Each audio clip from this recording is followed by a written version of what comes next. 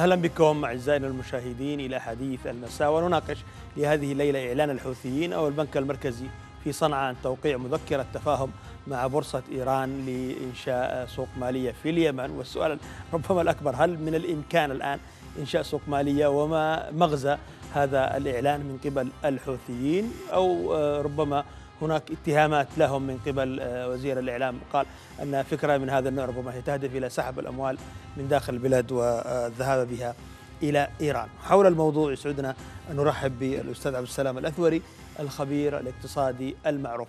أهلا بك أستاذ عبد السلام. أهلا ومساء الخير. وأيضا نرحب بالأستاذ عبد العالم بجاش الكاتب والمحلل السياسي أيضا المعروف من تعز. أهلا بك أستاذ عبد العالم. أهلا وسهلا. وأيضا نرحب بالأستاذ سلمان عسكر وهو محلل سياسي سعودي سينضم إلينا لاحقا لكن قبل ذلك دعونا أعزائي المشاهدين نتابع هذا التقرير ومن ثم نعود للاستديو. في ظل تجاهل خليجي تام وتعال سعودي رافض للانخراط في شراكات اقتصادية جادة وفاعلة مع اليمن تمضي إيران عبر مجالات متعددة محاولة السيطرة على كل شيء في اليمن سياسيا وفكريا وعسكريا. والآن تتجه نحو السيطرة على مفاصل اقتصاد البلد والتحكم بمداخل المال والثروة والسياسات المالية والنقدية عبر أدواتها الحوثية. ثمة مفارقة اقتصادية خطيرة على صلة مباشرة في السيطرة على النفوذ في اليمن، فمن جهة تسعى إيران للتحكم بمداخل الاقتصاد والسياسة المالية والنقدية لليمن، والاستحواذ على البنوك والقطاعات المصرفية تحت مسمى توقيع مذكرات تفاهم بين بورصة إيران للأوراق المالية وفرع البنك المركزي اليمني في صنعاء المحتلة، وإعادة إعلانها مؤخرا عن إنشاء بورصة حوثية هدفها تطوير آليات وأنظمة تقنيات السيطرة على سوق المال والموارد الخاصة والعامة لصالح خزينة الميليشيا. ولم تجد وكالة أنباء فارس الإيرانية حرجا في الإعلان عن فعالية توقيع ما وصفتها بمذكرة تفاهم بين رئيس البورصة الإيرانية مع رئيس فرع البنك المركزي في صنعاء المحتلة. متحدثة عن أهم بنود المذكرة التي تتضمن توفير البنية التحتية لإنشاء سوق رأس المال الحوثي معلنة عن استعداد إيران لتقديم خدمات استشارية وفنية وبنيوية ما يعني السيطرة الإيرانية الشاملة والجذرية على اقتصاد اليمن. فالاقتصاد مدخل أساسي في توسيع دائرة السيطرة والنفوذ وتثبيت الاحتلال ولم يكن السلاح وتشكيل الميليشيات بالنسبة للنظام الإيراني سوى عامل من عوامل بناء النفوذ وتثبيت السيطرة على البلدان العربية ومنها اليمن حيث اخذت طهران تتجه مؤخرا لإعادة هيكلة اقتصاده ومؤسساته المالية بما يكسب نفوذها العسكري رسوخا أكثر. في المقابل ورغم أهمية اليمن بالنسبة للخليج والسعودية على وجه التحديد إلا أن سياستها في اليمن آنية وعشوائية وعبثية. إذ تكتفي بتقديم مساعدات مالية وإنسانية آنية ولحظية وتنفيذ مشاريع هامشية وغير تنموية.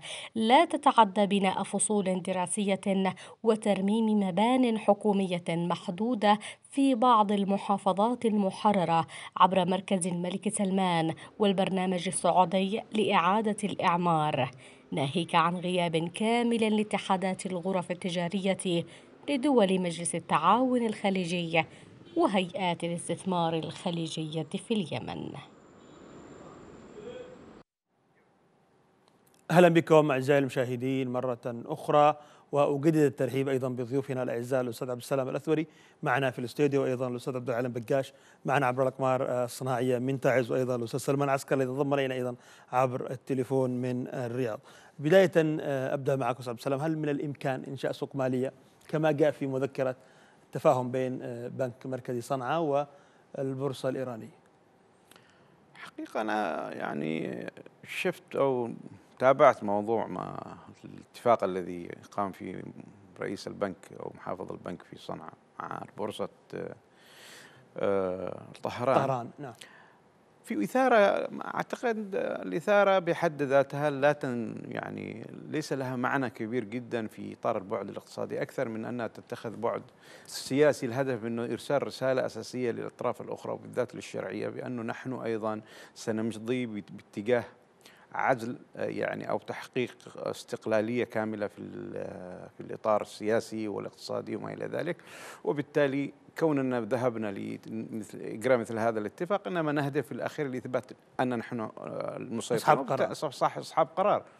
لكن فكرة انشاء دو يعني سوق مالية في اليمن في حد ذاتها غير قابلة للتحقيق في ظل وجود وضع قائم على الصراع وقائم على الحروب وبالتالي ليس هناك استقرار وبالتالي ما زالت اليوم الواقع لا يحتكم أساسا لسلطة القانون ولا سلطة المؤسسات وبالتالي من الصعب مكان إنشاء ما يسمى بالسوق المالية في ظل يعني انحدار أو انهيار اقتصادي في المؤسسات أو إلى آخره. وأكثر من 70% من الأنشطة الاقتصادية تجمدت وخرجت أساسا من دائره الفاعلية وبالتالي كثير من النشاطات الاستثمارية والأموال هربت وخرجت تبحث عن مناطق مناطق آمنة للعمل وكثير من الأنشطة تجمد كثير من المؤسسات والمصانع وما إلى ذلك. إلى اليوم تحت إطار التجميد وغير عاملة.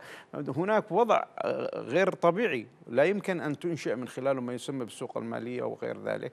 هذا يتطلب بالدرجة الأولى إلى إنشاء وضع طبيعي تقوم على يعني نظم المؤسسات وحكم القانون ونظم الشفافية ونظم المحاسبية وإيجاد حماية حقيقية يعني لمالكي الأسهم وغيرها، هذا الوضع إلى الآن لم يترتب ولا يمكن يترتب، نحن في في الفترة ما قبل الحرب وفي ظل الوضع الطبيعي وما إلى ذلك نعم.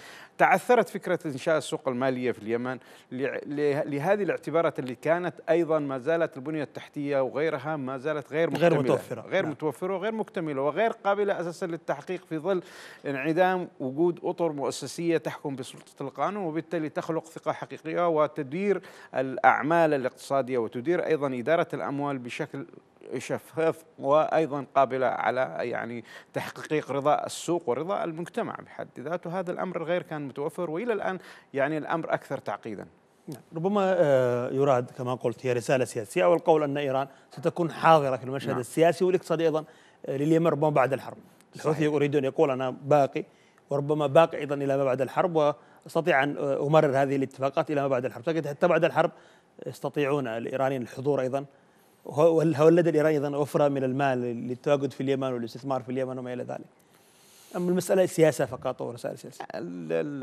الإيرانيين آه، يدركوا ماذا يريدون ويخططون وبالتالي يتجهون بشكل واضح إلى تحقيق أهدافهم في المنطقة وبالتالي أصبحوا الآن هم أكثر حضورا وأكثر سيطرة وهم يعني بأدواتهم القائمة الآن في المنطقة يحاصروا المنطقة في كل من جميع المناطق وخاصة يعني المملكة بشكل أساسي محاصرة من اتجاه يعني من أكثر من اتجاه من الشمال في الشام وفي العراق وفي مناطق أيضا حتى في مناطق الخليج وفي اليمن. صارت تحت إطار الحصار الإيراني. عندما اليوم تصبح إيران هي المسيطرة والمهيمنة وبالتالي تتغلغل داخل كيان اليمن وتنشئ آه، قواعد آه، اقتصادية وعسكرية وما إلى ذلك تكون قد سيطرت على المنطقة إجمالا. هذا الأمر يجعل الآن هذه الرسائل إذا لم يتداركها وتتداركها دول بالذات الإخوة السعوديين فهي يعني يعني آه، تساعد على الذهاب إلى تحقيق هذا الهدف في يعني في فرض وجود السيطرة الإيرانية بشكل كبير. طبعا ال ال الواقع بحد ذاته قائم على حالة من ال من ال من من التناقضات الكبيرة جدا داخل المنطقة. هناك توجه قائم على دعم استعادة الدولة اليمنية والشرعية اليمنية وما إلى ذلك من قبل لكن أيضا الأمر يذهب بعيد عن هذا الاتجاه. اليوم اللجنة الرباعية التي أصبحت هي المسيطرة والمهيمنة والفارضة الوصاية وما إلى ذلك اتجهت إلى مناطق أخرى اتجهت إلى المهرة وإلى سقطرى وإلى باب المندب للسيطرة عليها بينما الصراع الحقيقي هو في مكان آخر وفي مناطق أخرى وبالتالي جعلت المناطق الأخرى تحت سيطرة أيضا نفوذ الحوثي ونفوذ يعني النفوذ الإيراني. بالتالي نعم. نعم. يعني تتجه باتجاه تثبيت بالضبط. النفوذ الإيراني في البلاد بالضبط. في المستقبل. سأعود إليك أستاذ عبد السلام الأثوري ودعني أيضا نشارك معنا الأستاذ عبد البقاش وكيف يقرأ أيضا هذه الرسائل الإيرانية وفي هذا التوقيت إيران تقول أنها حاضرة ليس فقط في الجانب العسكري وإنما أيضا في الجانب الاقتصادي وتوقع مذكرات آه، تفاهم مع الجانب الحوثي ما هي الرسائل الإيرانية في هذا التوقيت؟ آه نعم آه بالنسبة للرسائل الإيرانية في التوقيت آه الراهن نلاحظ أن الإعلان عن توقيع آه مذكرات تفاهم آه بين بورصة آه إيران والميليشيا الحوثية آه أتت آه آه بعد أيام من حملة دشنتها صنعاء أو الإنقلابيين في صنعاء حملة ممنهجة ضد البنك المركزي وأيضا طرحهم بشأن شروطهم لإعادة البنك إلى صنعاء وهي مناورة مكشوفة لكن الشرعية لم تواجه هذه المناورة كما يجب. في الماضي كان هناك قبل سنوات فيما يتعلق بالحلول المطروحة لإنهاء الانقسام. النقدي في اليمن كان وإعادة توحيد البنك المركزي كان جزء من الطرح الخارجي نقل البنك إلى الأردن. حاليا يعمل الانقلابيين وإيران بهدف إسقاط ثاني أهم رمز سيادي للشرعية. على طريق تصفيتها وإنهاء دورها وهو البنك المركزي اليمني. وبالتالي أتى الحديث عن توقيع مذكرات تفاهم لإنشاء بورصة في صنعاء في ظل ظروف واقعية معاكسة تماما وغير مناسبة لإنشاء أي سوق يذكر في في عاصمة محتلة. إنما هو ضمن حملة هدفها الرئيسي مزيد من الإطاحة بالرموز السيادية للشرعية اليمنية.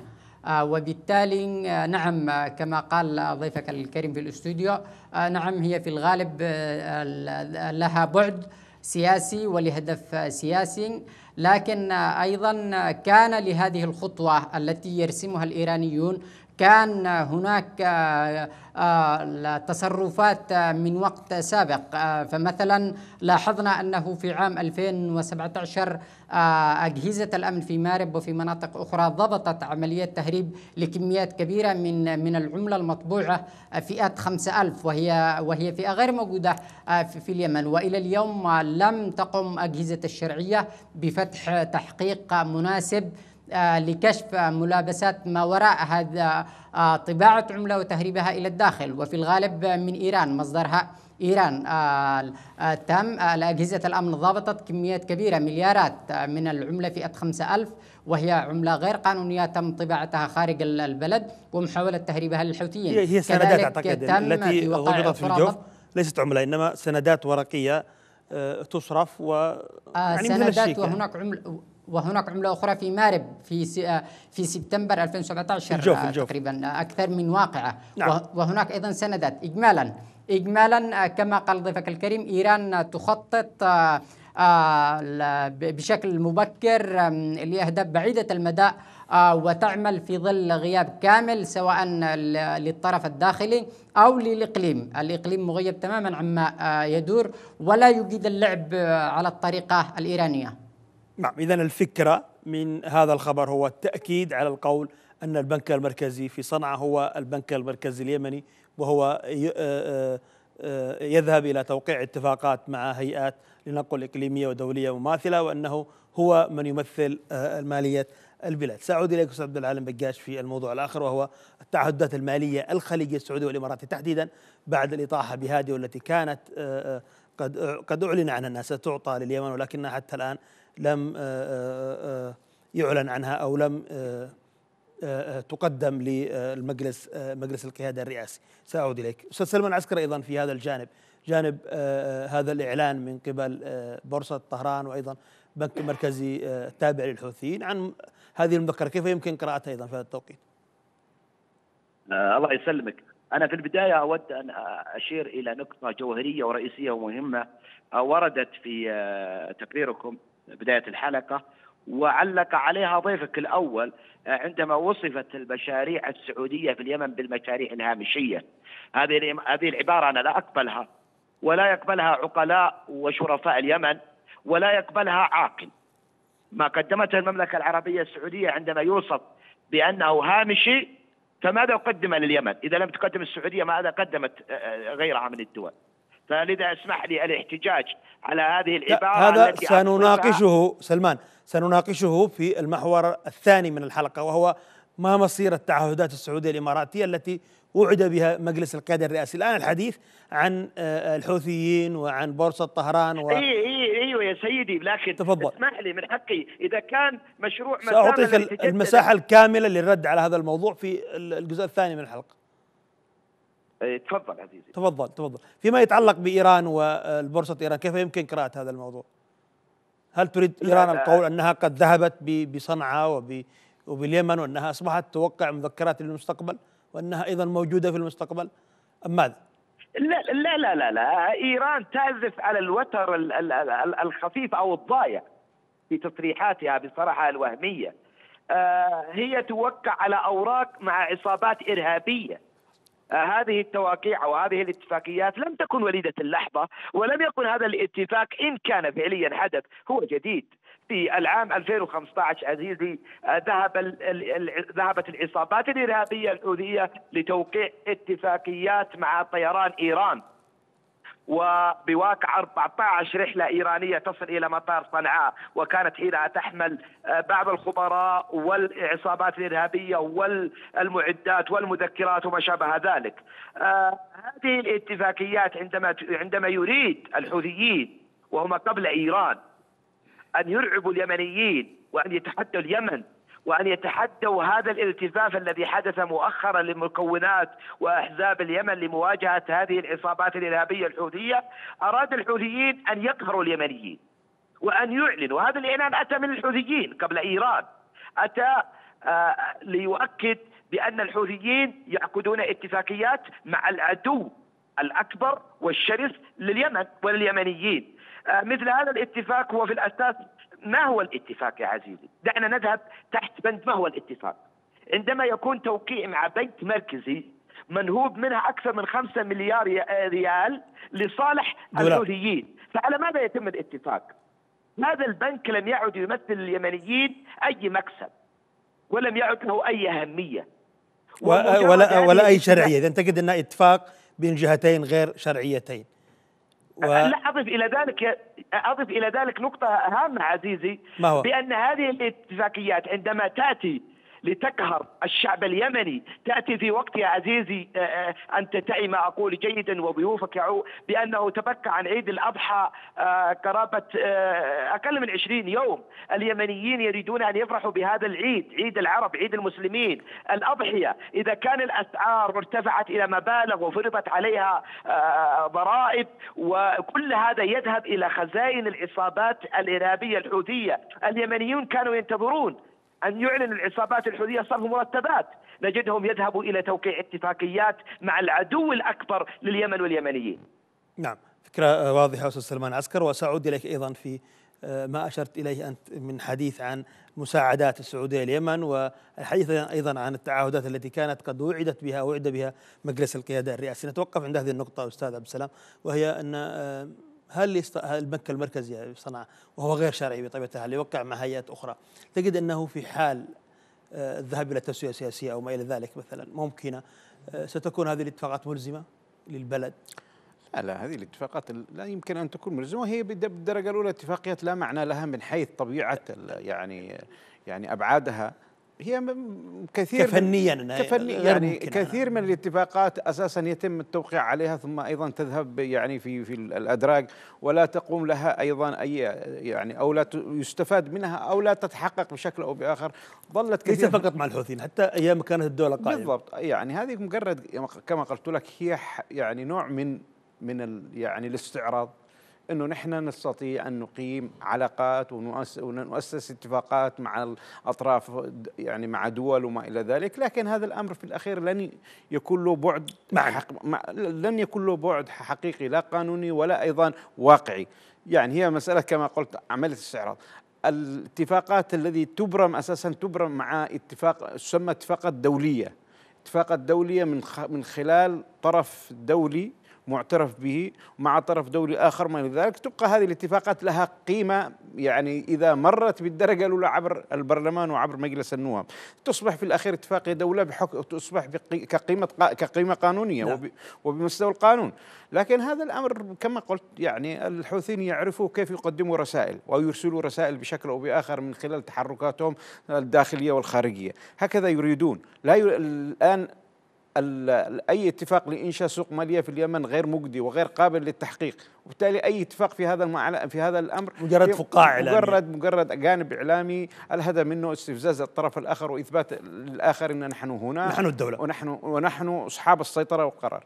نعم. أشكرك أستاذ سلام الاثوري وسأعود إليك أيضا في الجزء الثاني من الحلقة والحديث عن التعهدات السعودية الإماراتية لمجلس القيادة الرئاسي خاصة مع حديث أيضا آه، رشاد العليمي عبر تويتر بأنه رئيس مجلس القيادة بأنه آه، يعمل على جلب بعض الدعم من من الأشقاء لمعالجة الاحتياجات احتياجات المواطنين سواء النفطية أو أيضا من الكهرباء في العاصمة المقاطعة عدن وفي عموم المحافظات المحررة فابقوا معنا.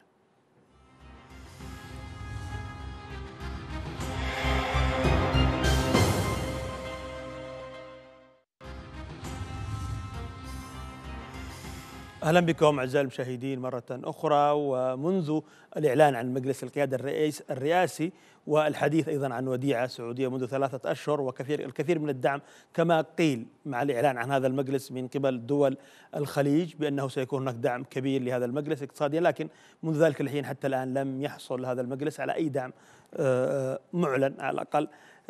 مالي من من الأشقاء سواء من السعوديين أو الاماراتيين أو حتى أيضا آه، دول خليجيه أخرى. على الرغم أيضا من أن زيارة الرئيس هادي أو عفوا الرئيس رشاد العليمي إلى آه، تلك الدول لنقل قطر وأيضا الكويت والبحرين أنه حرص على تعهدات مالية لكن هذه الزيارة لم تخرج بتعهدات. أستاذ عبد السلام الأثوري كيف يمكن تفسير هذا الجانب أو هذا الشق؟ حديث عن مجلس قيادة رعته السعودية تبنته السعودية هو مولود السعودية بالأساس. وقيل أن هناك سيكون دعما ماليا سخيا لكن منذ ثلاثة أشهر لم يأتي شيء. كيف يمكن تفسير هذه النقطة؟ والله هذه الحالة يمكن قراءتها أيضا؟ هذه الحالة هي تعبر في الأخير عن تقييم أو يعني اختبار حقيقي لمصداقية دول التحالف في مسألة الذهاب إلى دعم آه، المجلس وإلى دعم الشرعية، يعني إذا كانت هناك جدية حقيقية وهناك ثبات لهذا الموقف معنى هذا أن التاخر والتأجيل ويعني يضاعف من المشكلة أكبر ويضاعف من المعاناة أكبر للمجتمع اليمني وأيضا يعني يضاعف من مسألة الانهيار الاقتصادي وخاصة أن الشرعية إجمالا بحكومتها والمجلس وما إلى ذلك هم تحت إطار التبعية المباشرة لمجلس أو للحلفاء. للحلفاء. الأمر الآخر ال ال يعني المقومات الاقتصادية كلها وكل الجوانب الاقتصادية المتعلقة والمؤسسات الاقتصادية تحت إطار التكتيف وبالتالي مقيدة لا تستطيع الحكومة أن تعيد ويعني تفعيل هذه المجالات لا بقدراتها الحالية ولا أيضا بالظروف التي أيضا تحيط بها, بها في الداخل وأيضا بعلاقتها مع دول الخارج، ما زالت المطارات والموانئ تحت سيطرة التحالف أو تحت سيطرات الميليشيات التابعة للتحالف. نعم. هذا أمر أيضا يجعل التحالف في إطار المسؤولية المباشرة وتحت أيضا وهو المسؤول المباشر عما آلت إليه الأوضاع إلى ما نحن عليه في مناطق المحررة وخاصة أن ثمان سنوات ظلت الحكومة بعيدة عن عن والشرعية بعيدة عن وجودها في الداخل، أصبحت أيضا كل الفاعليات أو المؤسسات لا تعمل ولا تستطيع أن تعمل، اليوم تريد أن تستعيد وجود هذه المؤسسات ولا يمكن تستعيدها إلا بامكانيات وقدرات تستطيع يعني آه، تمكنها من من إعادة تفعيلها والتوفير الإمكانيات المطلوبة لتشغيلها، هذا الأمر إلى الآن كان مرهون بالدرجة الأولى بتوفير الدعم الذي تبنته أو وعدت به الأخوة أو الأخوة في المملكة والإمارات، للأسف الشديد لا نجد أي تفسير واي مبرر لعدم للتباطؤ بتقديم المساعدة. نعم مصدر حكومي قال أن هناك تعقيدات تواجه ملف الوديعة السعودية؟ ما هي التعقيدات كخبير أنا أعتقد اقتصادي؟ أنا أعتقد هذه كلها مبررات وهي ليس لها أي قيمة أساسية أكثر من مسألة وضع هذه حقق للتباطؤ في عدم تقديمها. للتنصل من المسؤولية. يعني عندما تم عقد اتفاق الرياض الأول بين الانتقال والشرعية وما إلى ذلك تعهدوا الإخوة الأشقاء بتقديم بتقديم مساعدات وأعلنت الحكومة حينها بأنها ستقوم على استعادة يعني مواردها. مواردها وبالتالي تتمكن من استعادة مواردها بالدرجة الأولى، للأسف الشديد لم تفي لا بتنفيذ الاتفاق الاتفاق الرياض في إطار توحيد المؤسسات الأمنية والعسكرية ولا أيضا بتقديم العون المالي والإقتصادي. وظلت الأمور إلى اليوم تعيش حالة المعاناة وحالة الانحدار وحالة اسمه اليوم العمله تنحدر بشكل يعني متسارع وهذا يؤثر بشكل كبير جدا على حياة الناس. الأمر الذي سنقول أنه نحن الإخوة الاشقاء قدموا عون وقدموا قدموا عون في إطار وضع الفراغ القائم على الصراع القائم لكن أيضا العون الذي يتطلبه اليوم ويثبت حقيقة وجدية الأمر هو نفاذ يعني التعهدات وإلا سيبقى المجلس الذي أنشأوه, أنشأوه معرض معرض للفشل ومعرض للانهيار وبالتالي كما قلنا من أول يوم عندما تم إعلان عن المجلس، المجلس إذا لم يتم مساعدته بتقديم العون مباشرة بدون تعقيدات ما إلى ذلك سيذهب إلى الفراغ سيذهب إلى الفشل، وبالتالي نحن سنذهب إلى الفراغ وهذا هو الواقع. للأسف الشديد. سأسألك إذا كان هذا مقصود أم ربما أعراض جانبية لهذا الإعلان عن مجلس القيادة الرئاسي أم ربما أرادوا الحلفاء ربما آه، ايصاله إلى هذه النقطة، السؤال لك أستاذ سلمان عسكر، ما هو الهدف من تخليق مجلس رئاسي ووعده بدعم آه، لنقول اقتصادي وعسكري وسياسي ومن ثم تركه ليصارع آه، وحيدا الرئيس أو رئيس مجلس القيادة رشيد العليمي تواجد الآن في الرياض منذ أسبوع على أمل الحصول على آه، وعود أو دعم اقتصادي نقول وحتى الآن لم نرى شيئا. كيف يمكن تفسير هذه النقطة؟ في البداية ما أدري أنت وعدتني بالرد على ضيفك الهامشي هو نفس الكلام يعني هو نفس الكلام إنه الدعم السعودي ما يزال في إطار مركز الملك سلمان أو اعاده الإعمار وكلها مشاريع كما تقال. يعني في الهامش ليست في الجوهر يعني كاستثمار اقتصادي وما إلى ذلك يعني من الاستثمارات الحقيقيه طيب. إذا كانت الفكرة طيب غير واضحة ما هو الاستثمار السعودي في اليمن مثلا؟ لنقول هذا يعني السؤال. من وجهة من, من وجهة نظرك سيدي آه، هل يعتبر مركز الملك سلمان ما يقدمه في اليمن أمر هامشي؟ هو إغاثي يعني, يعني, يعني الحديث عن الاقتصاد اسمح لي سلمان الحديث عن الاقتصاد آه. ثمة مشاريع إغاثية وهو يعمل فيها المركز سلمان يعطي قطمة رز آه، كيس تمر لكن الحديث عن الاستثمار الحقيقي هذا بمليارات مشاريع اقتصادية مطارات موانئ هذه ما تسمى طيب الاستثمار يلا الاقتصادي وصلت الفكرة. الجوهري أعطيني المجال أجاوب أعطيني المجال أجاوب تفضل. تفضل. اولا مركز الملك سلمان قدم 17 مليار لهذه المشاريع لم تقدمها دولة في الأرض وعلى رأسها ما هي هذه المشاريع التي تصب في الخانة الاقتصاد اسمح لي اسمح لي. بما أنك استضفتني أعطني مجال أتكلم بما أعرف. تفضل. لا ما أعرف. أنا لا أستطيع أن أتكلم إلا بلغة أرقام. أما الذين يستطيعون أن يبررون على السعودية ويشوشون فهذا لن يقدم ولا يؤخر. أنا أتكلم بلغة أرقام. ما تم مؤخرا يا عزيزي من آه، توقيع يمكن قد لا يعلم عنها الجميع وهو رحبت به منظمات دولية وهو مشروع مسام في اليمن لعامه الخامس هذا المشروع يا سيدي الذي نزع أكثر من 346 ألف لغم أرضي هل هذا مشروع أهم شيء؟ آه، دعني أذهب إلى آه، استعادة وتأهيل الأطفال المجندين في اليمن الذين جندهم الحوثي وعبث بعقلياتهم وأفكارهم وتم إعادة تأهيلهم، هل هذا مشروع هامشي؟ هل ما يقدمه المشروع للتعليم في اليمن هو مشروع هامشي؟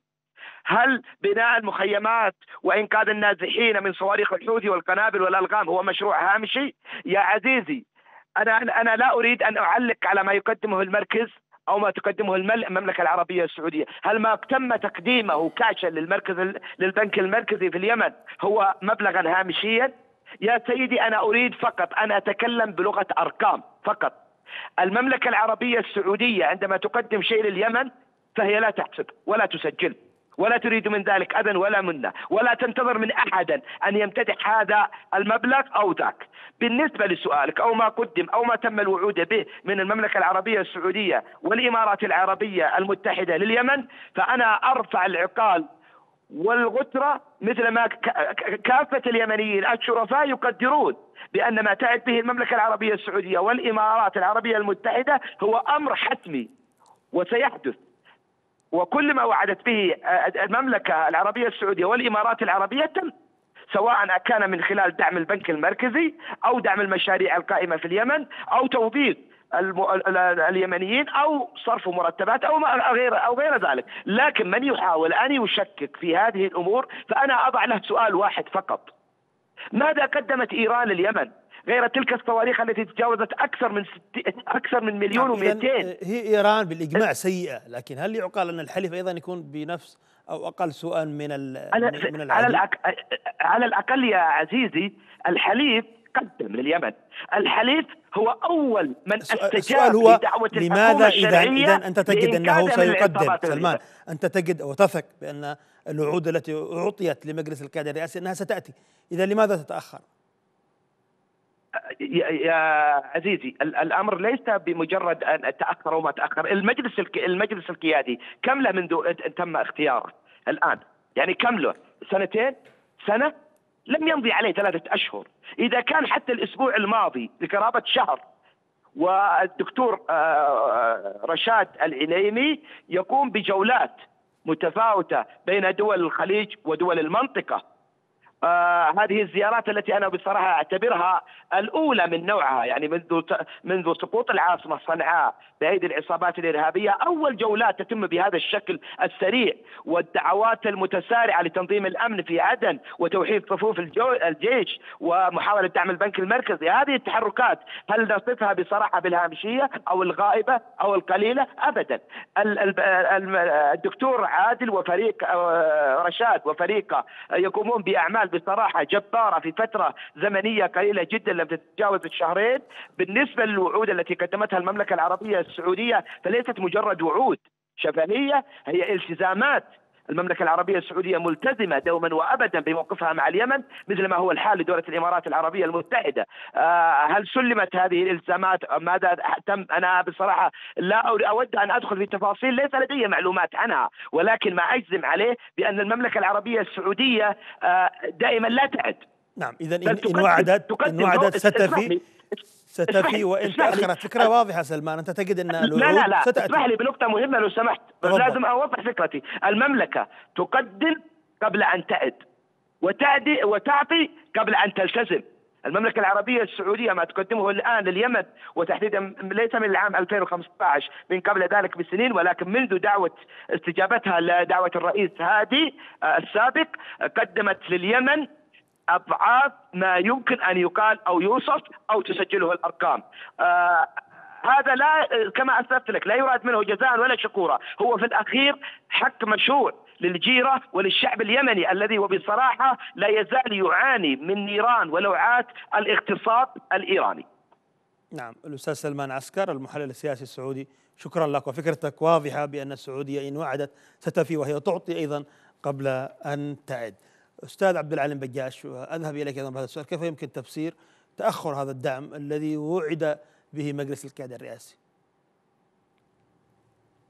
آه ما من تفسير آه، سوى أن الأشقاء السعوديين يبدأون خطوة بشكل جيد لكنهم لا يتمونها. آه، الرئيس العليمي في الرياض منذ أيام. وهناك معلومات تشير آه، إلى أنه مستاء آه، إلى حد ما آه، مع مع قليل من الشعور ب كما لو أن الأشقاء الخليجيين دفعوا به إلى الواجهه ودون القيام بالخطوات آه، أو بالتعهدات التي التزموا بها ومن ذلك 3 مليار دولار وغيرها. في الوقت الملائم آه، هم فرضوا اشتراطات آه، وإجراءات طويلة.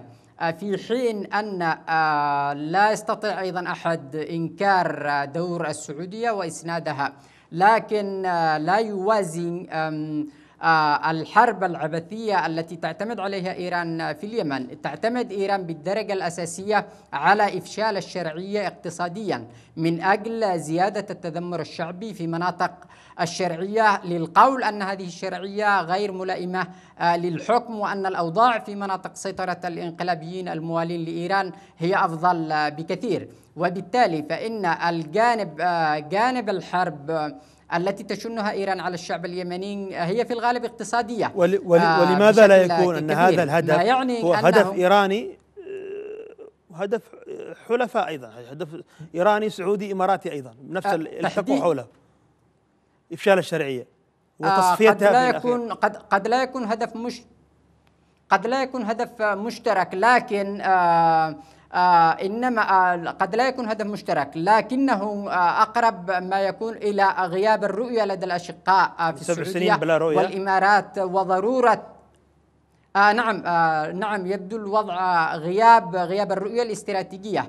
آه الرؤية الاستراتيجية المرتبطة بمصالحهم من آه تنفيذ تعهداتهم والدفع نحو آه استقرار الأوضاع الاقتصادية آه خاصة فيما يتعلق مثلا بملف كهرباء عدن فيما يتعلق باستقرار الوضع للبنك المركزي اليمني وتمكينه من السيطرة على السوق المصرفية آه، في الداخل وتمكينه من مواجهة العبث الذي تديره آه، الميليشيات الموالية لإيران ومضاربتها بالعملة بهدف إفشال الشرعية وإفشال التحالف وبالتالي هناك آه، جملة أو هناك نقاط محددة كان يجب على التحالف على الأشقاء في السعودية وفي الإمارات دعمها بكل قوة وليس إبطاءها نعم. ومن ذلك إعادة القطاعات الإيرادية كالنفط والغاز وفرض استقرار الإيرادات في هذا الجانب وأيضا دعم كما قلت البنك المركزي وكهرباء عدن بشكل كامل. انتصار الشرعية اليمنية في تثبيت الأوضاع الاقتصادية هو انتصار للحلفاء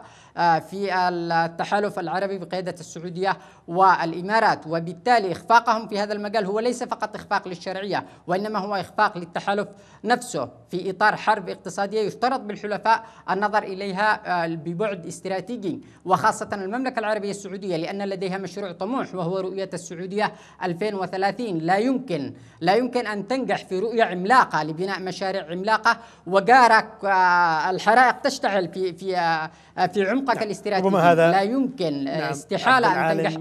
بقاش آه، الكاتب والمحلل السياسي.